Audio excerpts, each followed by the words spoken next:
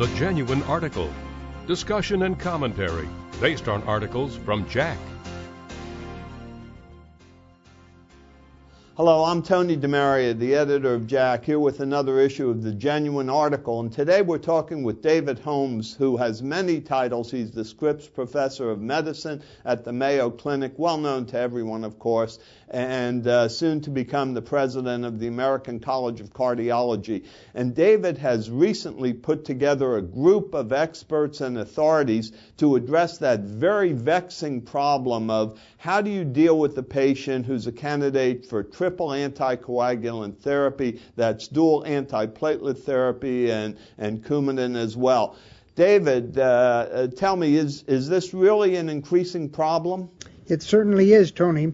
As we think about the number of patients who are going to require both dual antiplatelet therapy for whether they have a, an acute coronary syndrome or a drug eluting stent or for other reasons, as well as the number of patients who are going to require warfarin for the prevention of stroke with atrial fibrillation or a mechanical prosthetic valve, that group of patients is going to increase in frequency. And so we will be faced with the issue of trading off bleeding with triple antiplatelet therapy as well as with warfarin versus the issue of an acute ischemic event if we just take one or the other. Well, what kind of really good randomized clinical trials do we have available to us to guide us? As we think about evidence based medicine, there isn't any evidence based medicine in this regard. There are a small number of registry studies with small numbers of patients. But what they have done is to highlight the issue that those patients on triple therapy with dual antiplatelet therapy and warfarin face a three to five time increase in the frequency of bleeding. If you then go from dual antiplatelet therapy and warfarin to just warfarin and single antiplatelet therapy, they face an increase in the risk of an acute ischemic event related to not being on dual antiplatelet therapy. So indeed it is a trade-off between bleeding on the one hand and an acute ischemic event on the other hand. And it's very hard to negotiate that because there is very limited data. Well, given the limited data, when you and your colleagues got together, you did come up with some recommendations that we're about to publish in JACC uh, as to how one might go about doing this. I wonder if you could review those for us. These are the approaches not based upon evidence, but based upon consensus of people that deal with this every day.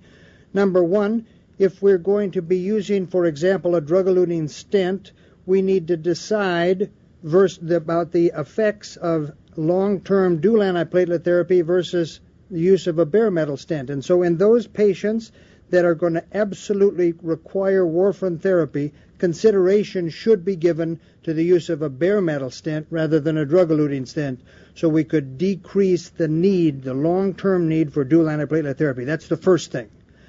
The second thing is in those patients in whom we are committed to dual antiplatelet therapy as well as warfarin, we need to keep several things in mind. Number one, we need to use the lowest dose of aspirin. One baby aspirin is fine. Keep it into the 71 to 82 milligrams of aspirin. Number two, we would use the standard dose of the thienopyridine, such as Plavix. Number three, we're going to keep the INR under as tight a control as we possibly can, shooting for a little lower INR of 2 to 2.5. So as we think about it, those would be the hallmarks. The next question to be addressed is, should we use a proton pump inhibitor, given that most of the bleeding is GI bleeding? Some is intracerebral, but most is GI bleeding. And that is still a hotly debated topic with the recent trials that would indicate that if you give a proton pump inhibitor, it may inhibit some of the effects of clopidogrel. And so in that setting, until we have more data, we go carefully and cautiously with it. There are some people that have recommended a non-H2 blocking drug, such as Zantac or Pepcid, something like that. In those patients that develop bleeding on dual antiplatelet therapy and warfarin, that is more problematic.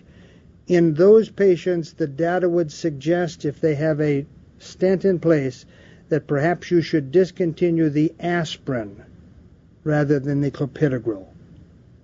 Those are really the recommendations in those patients that develop bleeding that is acute, obviously then you need to stop most of the things and reverse most of the things and be prepared to tide them over an acute ischemic event.